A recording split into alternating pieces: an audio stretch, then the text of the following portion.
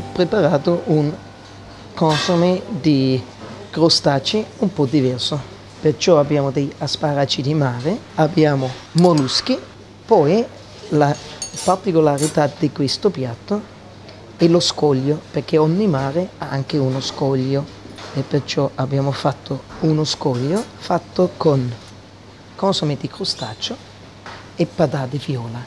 Questi si sciolgono appena versiamo sopra